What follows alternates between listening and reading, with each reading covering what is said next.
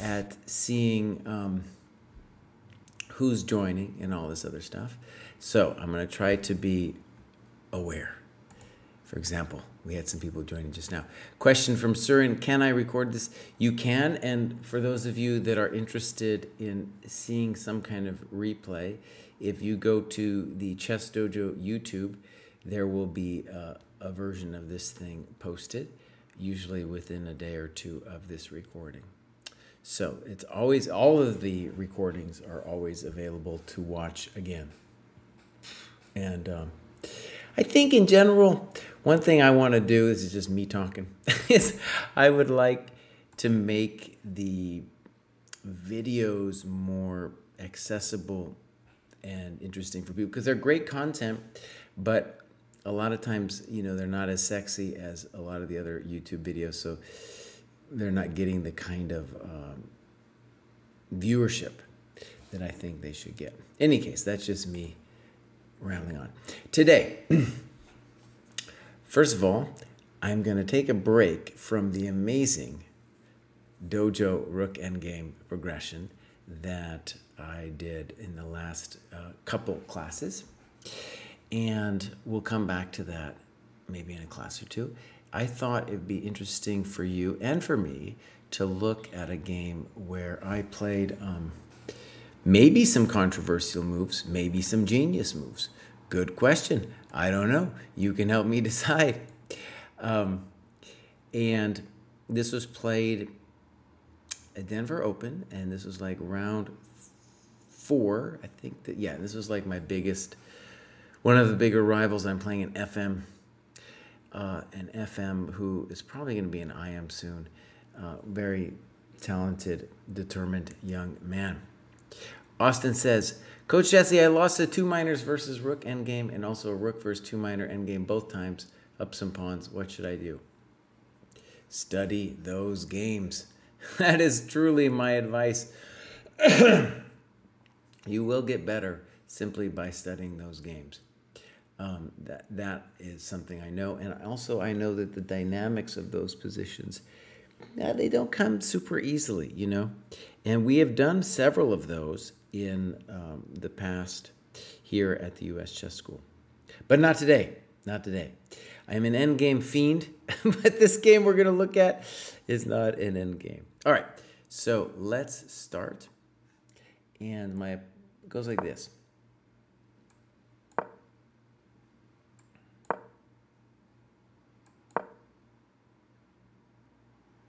Excuse me, I didn't do that.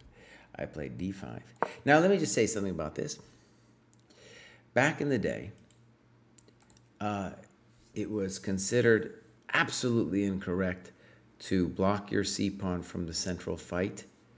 And uh, actually, what this position reminds me of is, um, yeah, there's in Nimzovich's chess praxis, there's a position that I believe goes like this knight f3, knight f.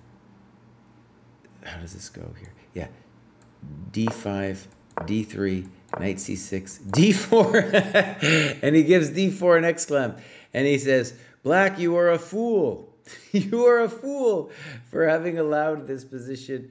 where your knight is blocking the c pawn from participating in the center of fight. Now, from the vantage point of history, it's obviously a humorous anecdote where it's also instructive because clearly back then they valued these placement issues far more in a far more like dogmatic way than they should time because that is what black got here in this position. In any case, we have the reversed position here, and it's white to move, and it's definitely fully playable for white. This is sometimes known as the Jobava London.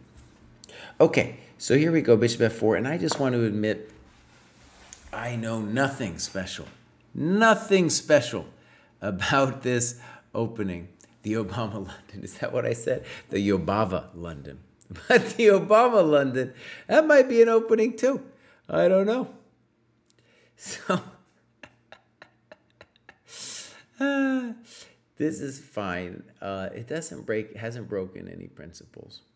But again, the reason I told the kind of joke, if it were, about the knight c3 and the Nimzowitsch thing is that the question now is what about the c pawn? What about the central fight? Okay, now one thing I want to say I don't know if I did any. We'll debate the quality of the moves that I made later. But something that I did in this game that I'm very happy about, and I talked about it in another uh, lecture about, and that lecture was called something like intuitive versus calculation moves, is that I knew in this position that I had several good moves and that I should just play my intuition and that I should not spend a lot of time on the clock. So these first couple moves I played basically instantly.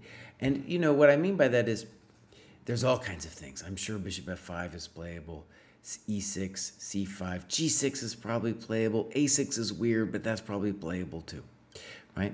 So all this stuff is playable, and as long as I make principled moves, it's going to be okay. And of course, I want those moves to kind of match my chess intuition. Again, I know no theory or anything like that in this position. I'm just following principles. And my chess intuition was that I should play e6, followed by bishop d6, simply with the thought that um, when I play bishop d6, it creates a, a situation that if he takes on d6, queen d6 will win a tempo for me, and cd is also interesting. Okay, so let's see what happens. e3, bishop d6, and now my opponent gets frisky with queen f3 played instantly.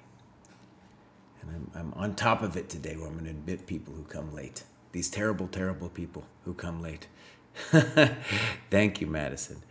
All right, so let's think about this position. Um, and, well, actually, let's open the floor. Let's open the floor. What I would like to hear is just a strategical assessment of the dynamics of what people feel the dynamics of this position are going forward.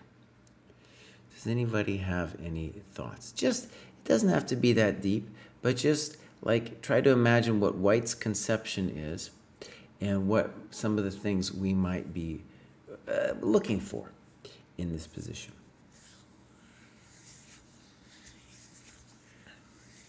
Now, Vihan is giving me a question mark, and maybe that just means, hey, buddy, what do you mean? what do you mean? What do you mean, you know, about what in general we're looking for? Yeah. We got a comment, White might castle long since they played out the queen early. Um,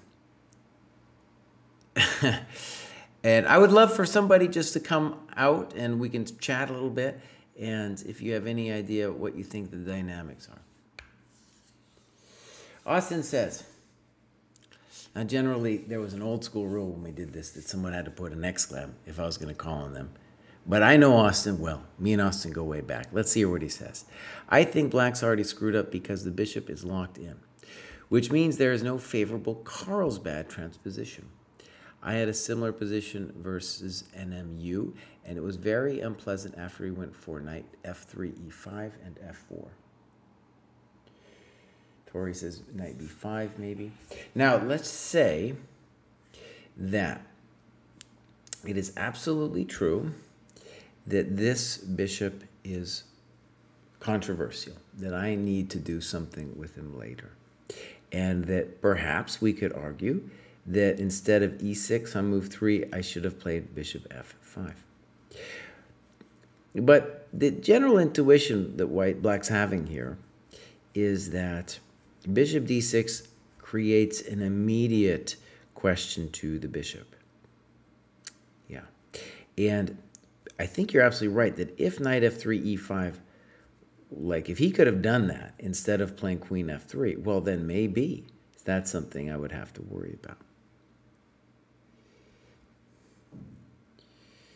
Guess I'm interested in anything else, and just in terms of dynamics that people people notice about what's going to happen here. Austin says knight f3 was interesting. Perhaps, yeah. Perhaps. And honestly, when I played bishop d6, to my mind, I was just playing good principled moves. But I had a sense of what was going to happen here uh, right at this moment. Uh, in terms of dynamics. Any thoughts about what's happening?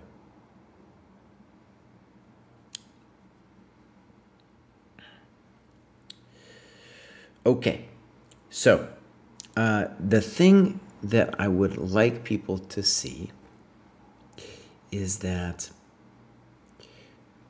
pretty well certain now we are getting opposite sides castling. And all of a sudden, the position is going to get really, really hot. And it, it's helpful to notice it now that you're going to say to yourself, you know what? This position is going to get hot. Um, white's going to castle long. And then, actually, let's do this. What was white's intention after I did this? By the way, I think castling long here might be a thought, but that's not what he did. He had a different intention. What was it? G4. That's right, Austin. Here he comes. Boom. Oh, buddy. Here we go.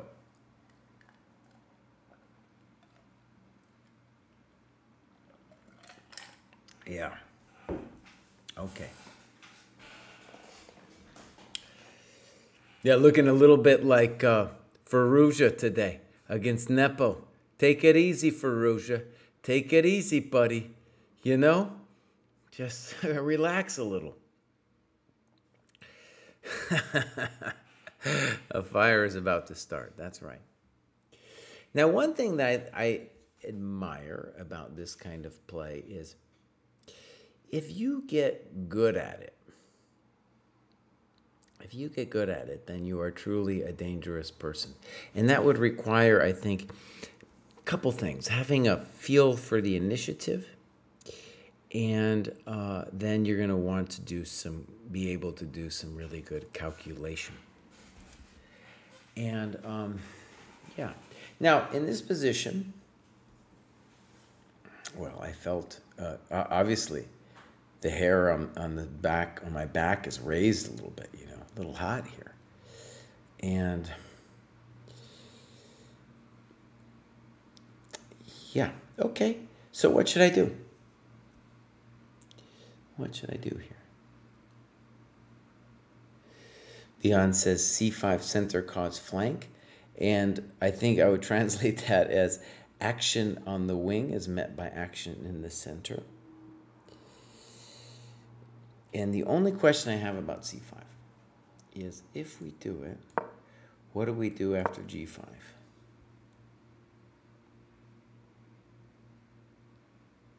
It's kind, of, it's kind of actually a serious question, isn't it? Austin says 94 sacked upon. Maybe. But I, what do I got?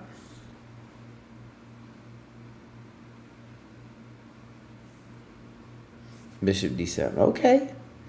I like the way you think here. Um, though I gotta say, I don't know. I don't know. Like snip, snop, snook, sloop, and then let's just say I'm greedy and take this guy.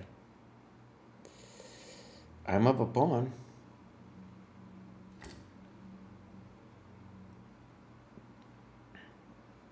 Queen a5 check, exclam. Why, why is that an exclam? I just go away. exclam. Queen a5 exclam. Yeah, but look. Look, I, I'm up a pawn, and you have to worry about some f3 stuff. Okay, but let's say that's a thought. And one of the things I like about it is it is true that since we are playing uh, let's start back here. Since it's a blood hunt now, with opposite sides castling that we should be encouraged, I think, to um, uh, attack and, and give away material. And this is one of the key points I want to notice. Note when that initiative is always important, but when you have opposite sides castling, the value of initiative goes up. Let me try to explain. So, the initiative is always important, and probably in the back of your mind, you are comfortable with like giving up a certain amount of material for the initiative. And all it means when we say the value of the initiative goes up is you should be more willing to give away material to get an initiative. Right?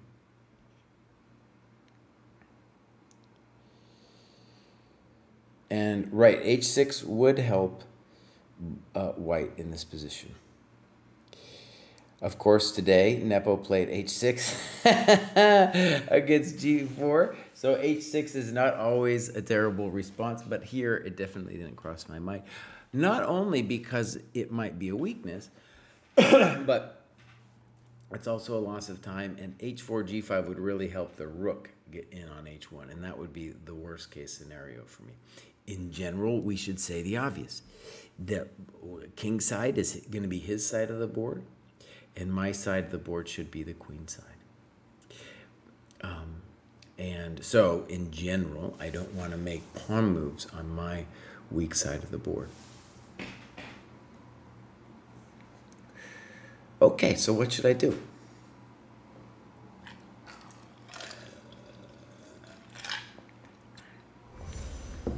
Okay, that's plausible. We got a suggestion of snip snop, and then c5.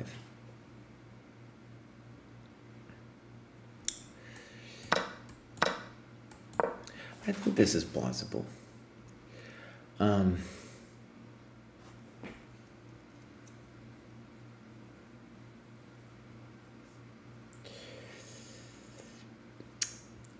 okay, and if I take, how does this go?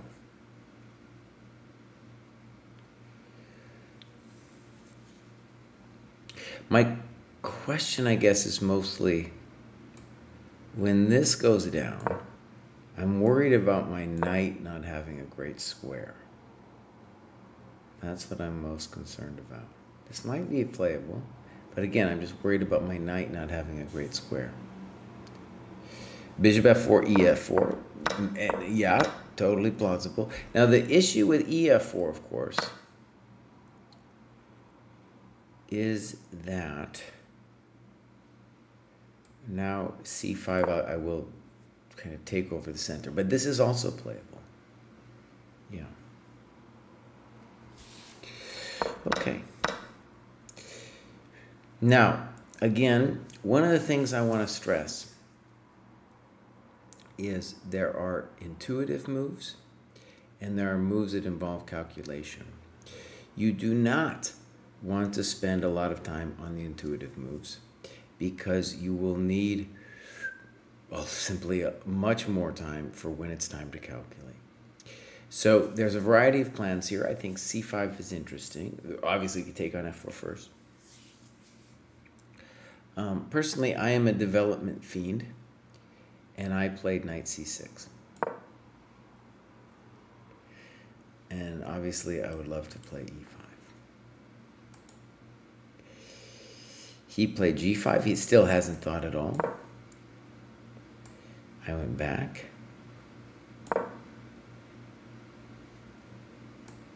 Bishop takes. Pawn takes. And now, this is the first position I would like to spend a little time on. And what I'm going to do, Greg Shahade, that jerk. Greg at that jerk. Years ago, I was like, Greg, give me the give me the right to do a poll. Give me the right to do a poll. He he wouldn't he wouldn't let me have a poll. No way. He never let me have a poll. So, um, what we're gonna do though is I'm gonna give two uh, two moves for white, and um, I want you to do your best guesstimate about what you should do. Okay, so here they are. Queen g3, hitting the pawn, defending this guy. Also maybe clearing the way for knight f3. Or castles, abandoning the g pawn. Okay, so there it is. There's your, there's your question. Two moves, castles or uh, queen g3. And um, I'm going to give a moment. Let's give a couple minutes.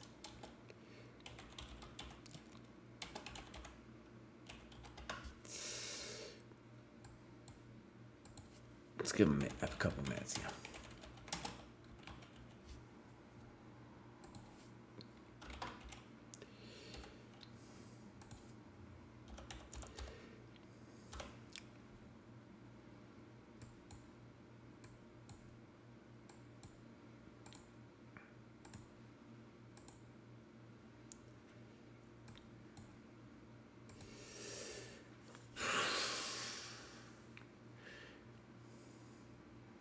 One of the things I will tell you when you're thinking about this is three minutes is a good time because it's in many ways, I think one move I like better than the other, but it's still in many ways a intuitive decision. That you're right. I think, I think it's still an intuitive decision about which way to go, queen g3 or castles.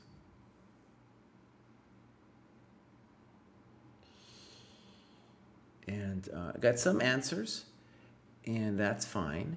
But I would encourage you to use the entire time. Change, feel free to, you can write, but feel free also to change your mind.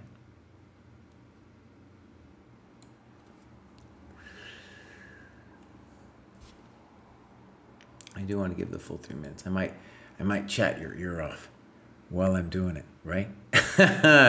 but, uh, and I have to admit all these people from the waiting room. But I do want to you to think about it, and then we'll probably bring some people in who can voice their opinion on what they think should be played.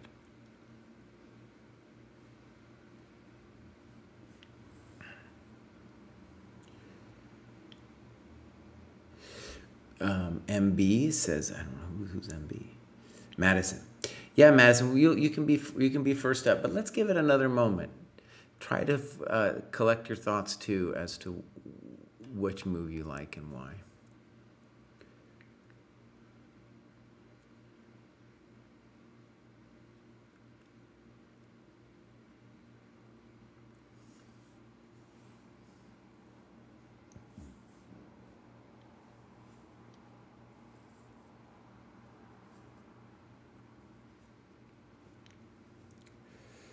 Greg Shahade might be lurking.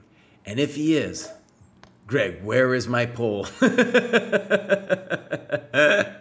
you villain.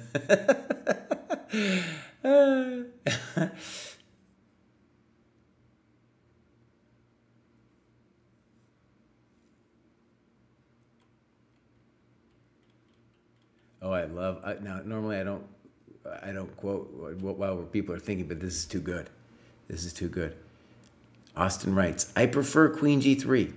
It may not be absurd for black to destroy the impertinent g5 hoplite to regain the f6 location for the steed following a rapid queenside castle with neglect to the vanguard soldier. I like that one a lot, Austin. Oh, Austin's been, been reading. He's been reading books, man. Okay, Madison, let me find you, and then we're going to invite you on. Let's see here. All right, so ask to unmute. Can you hear me? Yes, I can.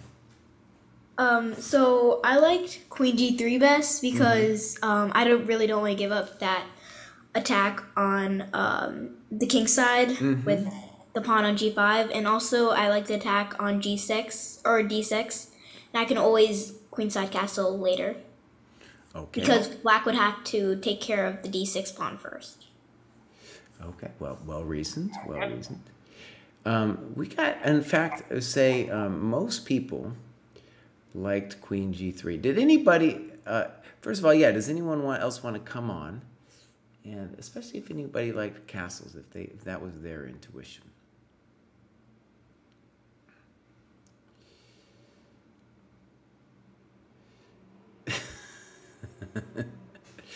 yeah, give give USCS coaches pull power. That's right.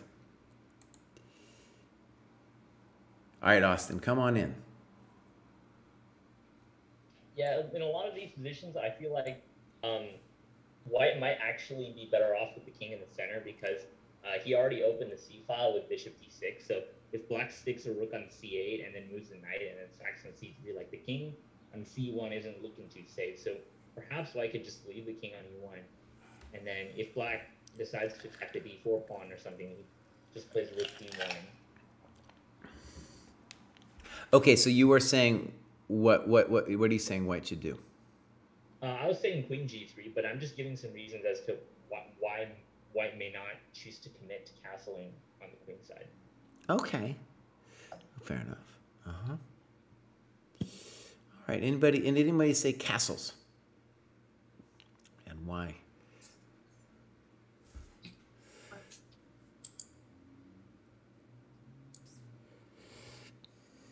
Okay, interesting decision. All right, so I want to say this. In the game, White played queen g3. Now, by the way, I have not reviewed this game with the computer, and I haven't shown it to my famous coach. I haven't shown it to the coach yet, so I'm still working on it myself. So I have some open questions, and one of the this is in many ways entirely selfish that I'm showing you this game because I'm hoping you guys can help me figure it out because we are going to be involved in some chess mysteries. This game isn't that long, but there are some deep mysteries in it. Violence, you know, violent games, they sometimes don't last that long, but there's often a lot going on uh, in them. Okay. How about this? Can someone express what before before you do any variations, right? What is controversial about Queen G3? What is controversial about that move?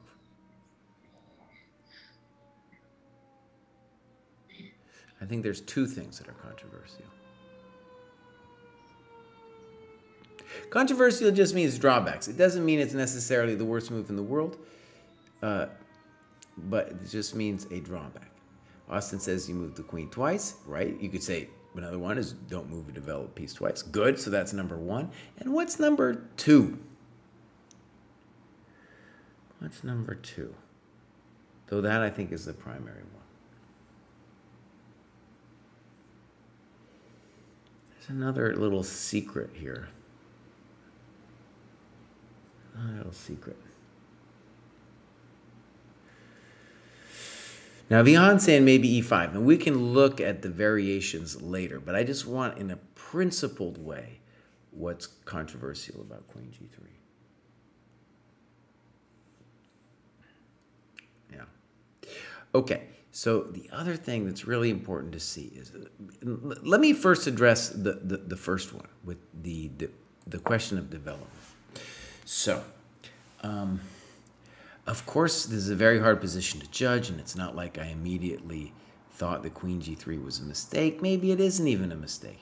But I just want to tell you why it felt controversial to me. I knew that we were going to get opposite sides castling, and I knew that time was more important than it normally is, right? So the value of time has gone up. And so Queen g3 is therefore a little bit controversial. Okay, uh, because it's giving me time. The second thing, okay, is a little bit more hidden. And that is that if we imagine that the king is going long, frankly, I think it has to go long. I, it's hard to, it's gonna, if it doesn't go long, it's also gonna be in trouble in the middle. Plus, you want to go long because there's going to be reasons to have your rook on d1. When you go long, you will, I think, want your queen to be close to her man. Your queen is your best defender. So when you play queen g3, it's like, ah, oh, you, you know, the lady's leaving her man. Not a good look. You know, not a good look. So that was why queen g3 felt controversial to me. And I do not know in an objective way if queen g3 is better than castles. But I do feel uh, strongly that on a practical level, castles is correct. Because if I take on g5, I am losing the initiative and I'm just opening up the g file. I'm not sure I should, in other words, be taking on g5. Um, maybe I can. And if I did, I guess I would plan to like plant my lady close to my man over here. Totally a thought. But notice that because we are going to have attacks on opposite wings, that um, the G file is thank you very much. So I don't know exactly how this could go, but I'm assuming something like this. And I'm not sure yet if I can play knight f4, but that would be the first question. I would have to analyze this, this, and this. Does it work out? I don't know. But this is something that the guy would have to figure out. It's very frightening, honestly. It's, yeah, it's already, and I don't know. It's already really scarier than I care to deal with.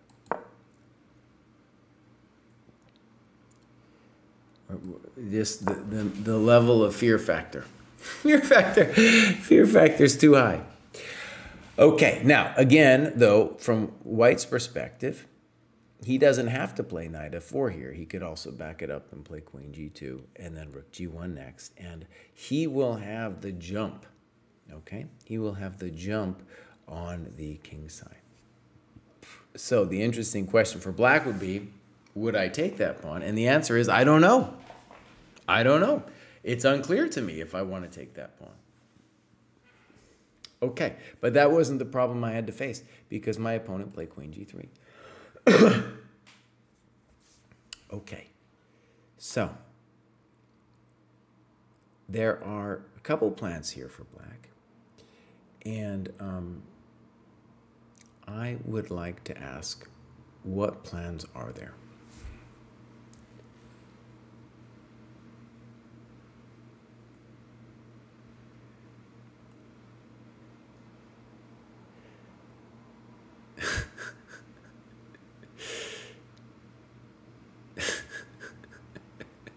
Austin's gone full poetic here, talking about how the queen's filing for divorce and all kinds of stuff. It's pretty good. It's pretty good. Okay. All right. What are some thoughts here for black?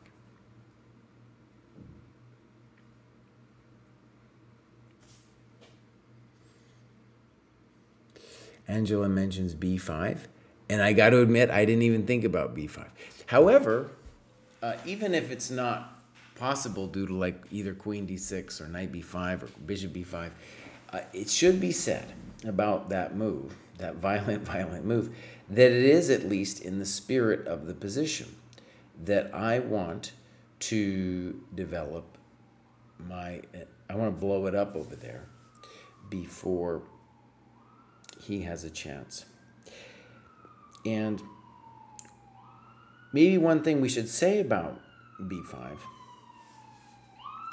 is it's a, a drawback is not just that I lose a pawn, but that when the lady takes on d6, she has a lot of control and influence then on the queen side of the board, where it seems like a big party is about to start. All right, Madison's talking about F6.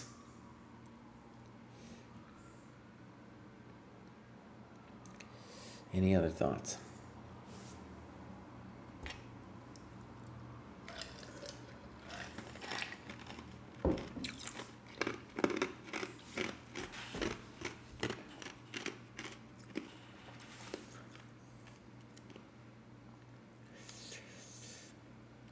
Austin had some interesting thoughts, but I don't hear quite yet a plan. Angela's saying knight b6, c4. Good. And let's say with the move knight b6 that in addition to just the blunt c4, we might play knight a5 and then one of the knights to c4 and then maybe queen b6, and then maybe bishop d7, maybe rook c8. It looks actually very promising. Yeah, okay, good.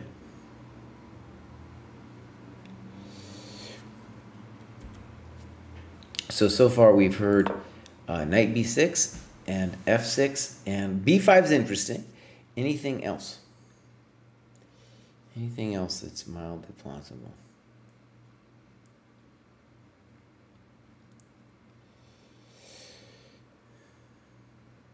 Now the thing is with people are talking about knight b6 and then e5 is let's look. Let's say knight b6 castles e5.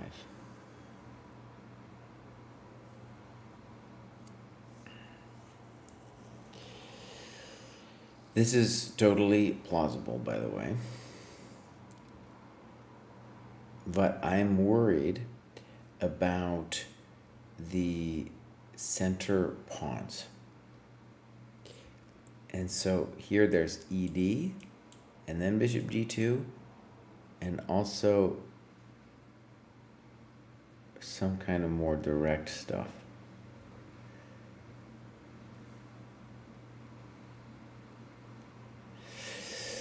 In the game, I was worried about things like this.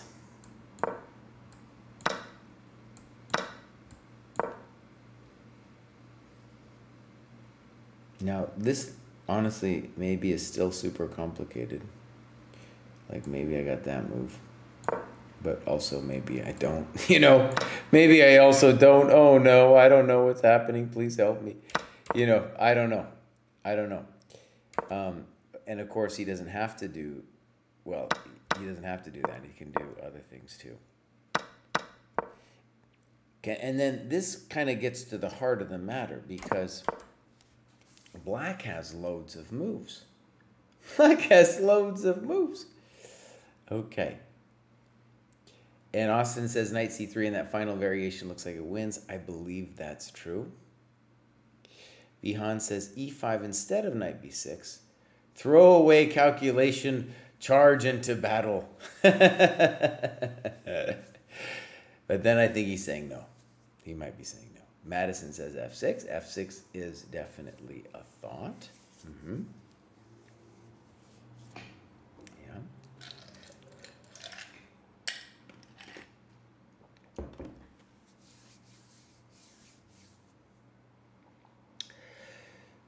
Okay, so with this decision, something I'd like to stress is that what you can see is, and maybe this is really, this points to some of the danger with Queen G3, that Black has at least a couple plausible plans that look hella dangerous, like very dangerous.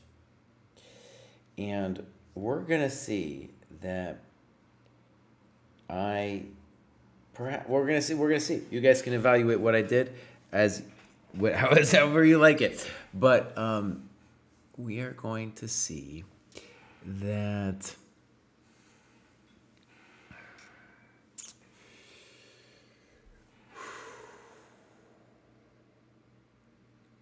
Maybe what I did was too risky. Maybe it was absolutely correct. I will tell you why I did it on principle. And the thing I was trying to express here is whatever you choose, you should not spend more than probably more than definitely not more than 10 minutes even though it's like a clearly fateful decision in your chess life here right about which plan you choose you don't want to spend 10 minutes because you know you know it's going to get crazy later for sure you do not have to be a genius to know that you're going to have some of the hardest calculation uh, setups that you're going to have to deal with ever coming up here soon because it's opposite sides castling. And let me just say one thing about opposite sides castling. Not only will the initiative count for more, but like it will turn into a really devious calculation battle where everything will be decided on just a detail. I can tell you that from experience. Okay, so uh, one thing that'll be interesting when I talk to the coach is he doesn't like it when I take risks that seem to him unnecessary. So I think, I don't know, this seems like I just have good play, you know, this kind of thing. And um, that's maybe what he's going to tell me. Okay? All right. So what I did though is to me, my intuition had everything to do with the principles at stake. So I felt that the initiative was now more important than, material, and that the queen had committed a, uh, you know, a, a misstep. She's away from her man. So here we go. I played e5. And where it's a truly weird move, you see, is after he castles, what do I do? Wait, who says this? Madison's like, spit it out. I want to know. Just say the move. okay, what do I do here? Now, Vihan's saying knight b6 plausible, and notice that that would then transpose to the variation I think you suggested earlier with knight b6 and e5. What is the drawback, though, of that variation on a positional level? Okay, let's ask. What is the drawback on a positional level about knight b6? Uh oh, Madison's saying I take too long to say the answer. E5's weak, what else?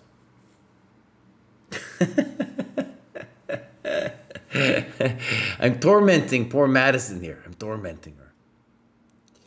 E5 weak, D5. No, that's not it, Beyond. What's the drawback of knight B6? No, leaving king side, D6, B pawn block. No, that isn't it. That isn't it. Interesting, no one gets it. Okay, the drawback, this is, this is just standard attacking chess here, okay? The drawback of knight b6 is that you are getting in the way of the lady. Where does the lady want to be? She wants to be in an attacking position, okay? That's where she wants. So knight b6, the problem is she's in the way of the lady. So, well, what did I do? Queen a5.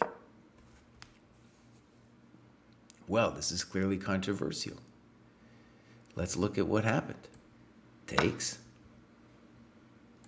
Knight b6. Takes. What did I do? Bishop f5.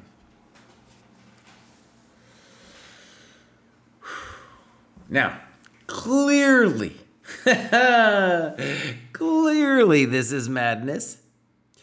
However, I want to stress before we uh, talk too much smack about how I'm a madman or whatever we want to say I am, that the good thing about what I did is I did not take forever about it. Now, clearly it was a big decision, so now on the clock I have spent uh, 18 minutes to get here, which, given the weight of the position, is not that much. Uh, so i.e., if I'm going to do this, I can't spend forever getting here. Because I will tell you this there is no way, there's no way to evaluate this in terms of calculation yet. So, what am I saying? The guy can play knight f3, knight e2, bishop h3. He might be able to play some moves I'm not even aware of, right?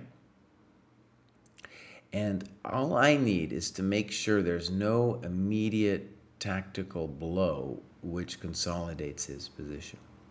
What is my notion? I'm going to play rook c8. I'm going to play knight b4, and it's lights out. That's the intention. And also, important to see that when you think about the initiative and the opposite side's castling, right? The initiative, more important than material you need to um, think about force count. So again, the lady is far away from her man, and I've got 9, 12, 15, starting to, starting to add up, 18, and then we're about to get this dog over here for 23. That's a lot of juice. That's what's a lot of juice, my friend. That's a lot of juice. And what has he got? Ah, really, maybe one. One guy. One guy and a couple helpers, you know? That's about all he's got. doesn't look good. The other thing maybe to notice too is that the issue is this guy kind of needs to stay in incommunicado with this square because you got to worry about that stuff once the bishop moves, right? That's kind of the issue. And Vihan says D7. D7 is 200 IQ. I like it. I like it. Austin says, what if white plays d7 to stop rook ac8 and distract the bishop from f5 away? So here's an interesting thing. One thing I could feel in my opponent's body language is that at this point, he did not believe me. He, he confidently played knight f3, which maybe is the best move. And I said rook ac8. And then he tanked. And he was like, oh no. then he was like, oh no. Maybe I am in big trouble. Now, I'm going to spend some significant time on my own thinking about um, all the different variations and the objective evaluation for white. But I do think, as I think Vihan said, that D7 might be 200 IQ. However, let's look at it for a second. And I took it. And then ask ourselves, just intuitively, just intuitively, what is the assessment of this position? Who is better and why? Actually, so let's do this. Let's do another poll. Who is better and why? Just this, just intu- intuitively. And I'm gonna say it's. I'm gonna say for myself, it's not a. It's not necessarily a slam dunk. It's not necessarily a slam dunk. So let's give this a couple minutes here. We'll go three minutes. And we're going to say just three options. And I want everybody to answer. You do not have to explain yourself, but we'll, we'll give a couple of people uh, time to explain themselves. And this is just, but I want everybody, at least in the chat, to give an answer. You just either say white, equal, or black, and then tell me if you would like to come on after and uh, give your thoughts.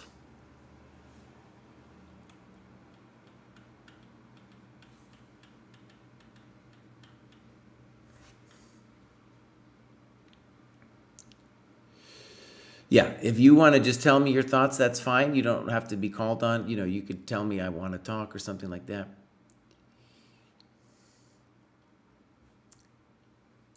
Let's give three minutes here. It's a really interesting question.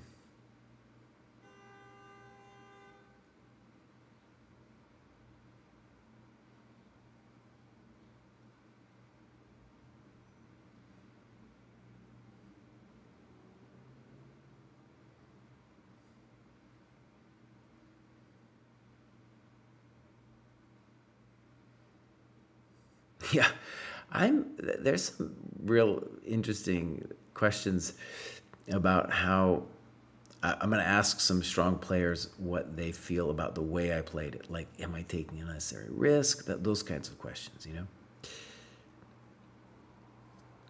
It's kind of definitely controversial, you know. Controversial the way I played it.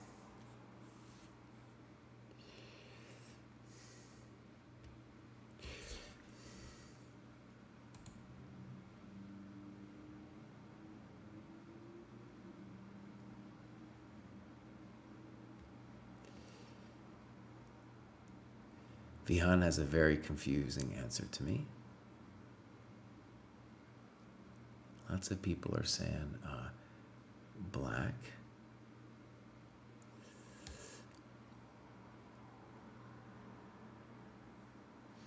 Okay. Oh, here's Austin. Austin's really been reading like Jane Austen. Objectively, I get the sense that White should be better, but I don't envy his obligations. I love this. I love Austin, man. Me and Austin are, are buds here. I love this guy. So, um,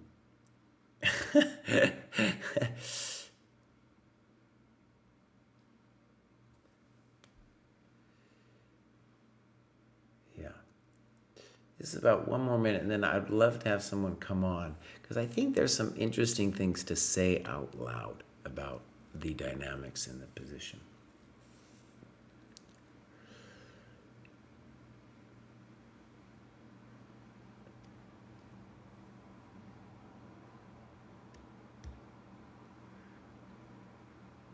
Well, if you have a theory, come on and tell us.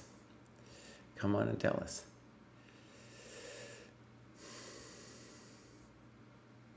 All right, who's ready? Who's ready to come on and tell me their theory about the position? What is happening here? All right, Tori, let's hear it. Uh, can you hear me? Yeah, I can hear you fine. Okay. Um, I think that black is better here because despite at the beginning like having an attack, I don't think it would be fast enough with h4 and h5 Uh-huh. for it to start being a threat to um, black. Right? And black's pieces are already on the queen queen side, ready to attack with the two knights, bishop, and the rook on the c file. So I think here black is slightly more active with its pieces, and it's just maybe not like decisively winning, but I think they're at least slightly better. Okay, fair enough. Anybody else would like to come on?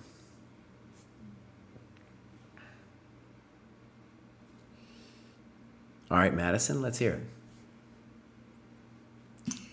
To be honest, I don't really know who's winning. I feel like white has a lot of attack and so does black, but I chose black because of um, the two knights and the bishop that look really interesting, and also the queen on a5 that is more active than white's queen. Uh-huh.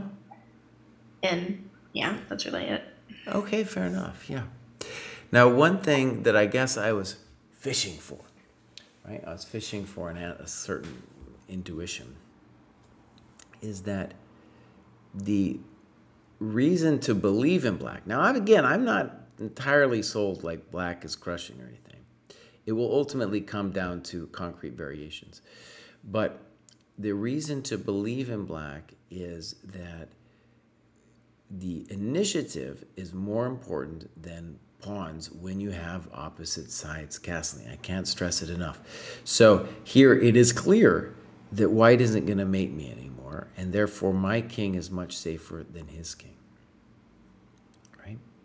Um, I did have to do some variations here, like um, I needed to mm, make make sure that knight like knight d2 didn't work and I had to make sure queen f4 maybe wasn't so good, queen d6 wasn't so good.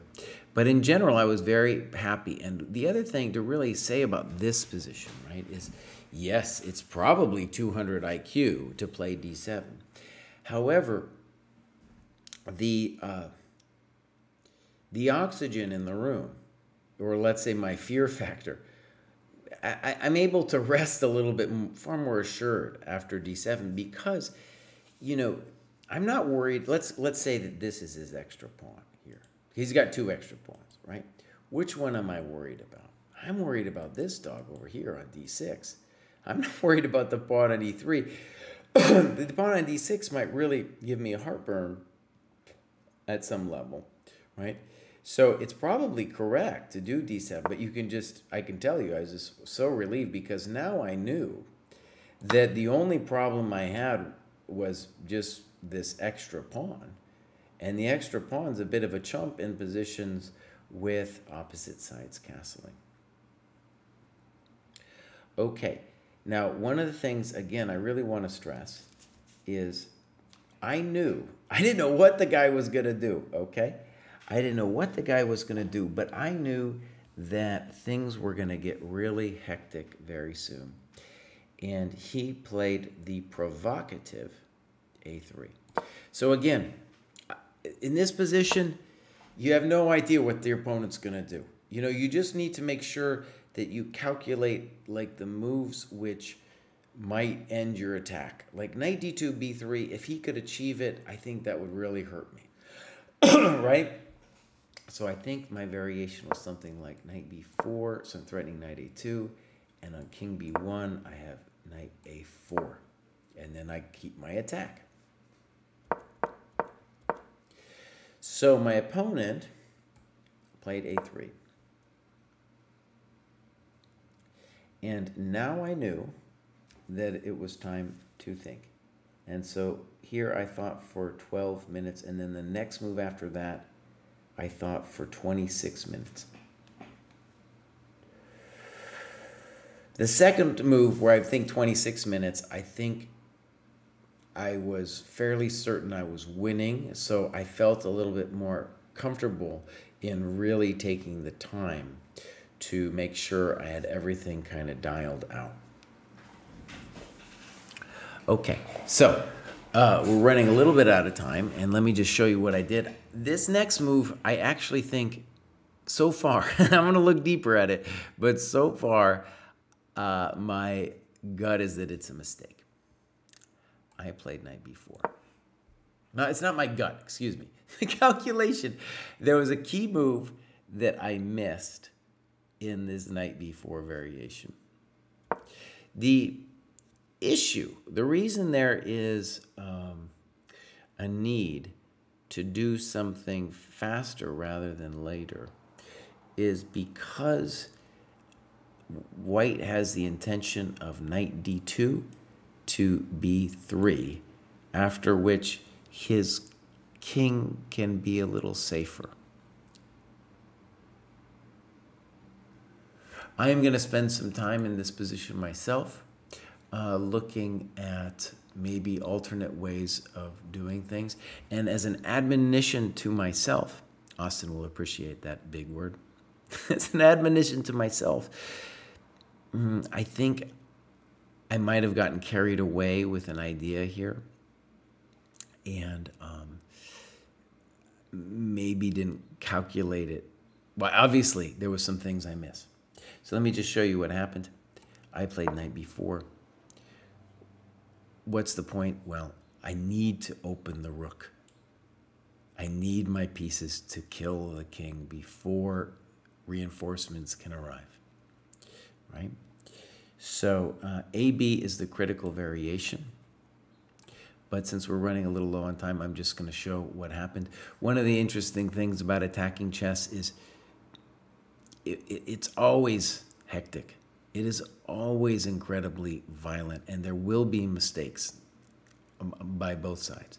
Um, knight b4, by the way, it's like the move black definitely wants to make work in the sense that you know, force count. I just need to open the rook and I need to kill them. And I need want to really want to kill the knight because the knight on c3 is really his only defender. And one of the interesting things about this position is I only calculated AB. And if we had more time, I could spend probably 40 minutes on AB. That's how complicated it was. And I did miss something. Um, but my opponent didn't do that. He played rook d4. And here's where I tanked forever. And I just wanted to make sure because I had so many moves here. I had knight c2, uh, I had rook c3, and then after rook c3, uh, I, I, needed to figure everything out. I'll just show you what I did, and then we'll end it for today. Rook c3, pop. I think this is the, this is the easiest.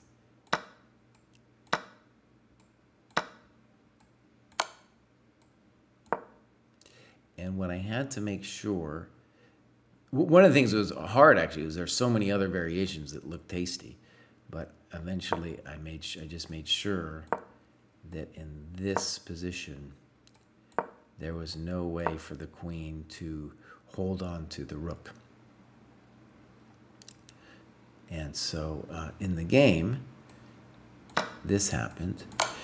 And I was very confident at this point, even though material is um, what is, what do we got here? It's what do we got? Is it even now? It's even. Even the materials even, I was confident I was winning here because again the force count and the initiative, better king. So it went uh, queen c3, king c1, knight c5, and maybe black has something. White has something better, but he played knight d2, and after rook a4, we can resign. Is this correct?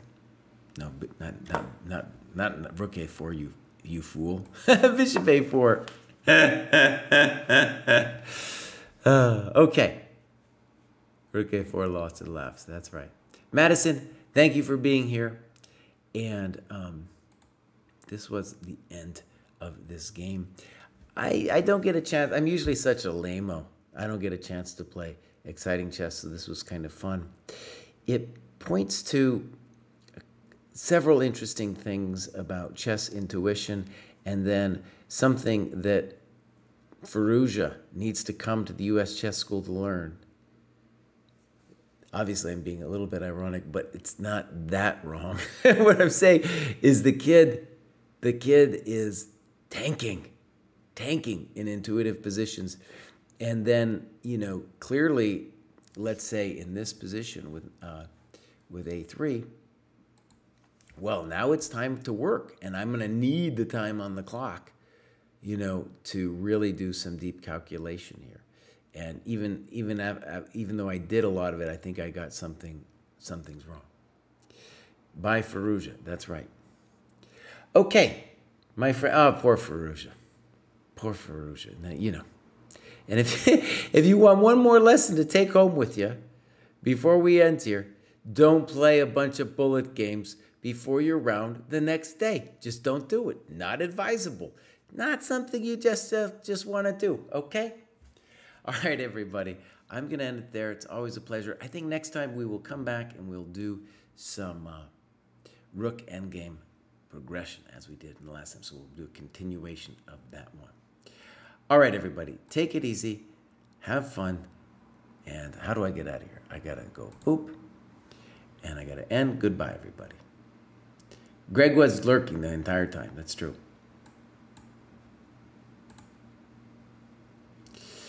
All right, Chess Dojo.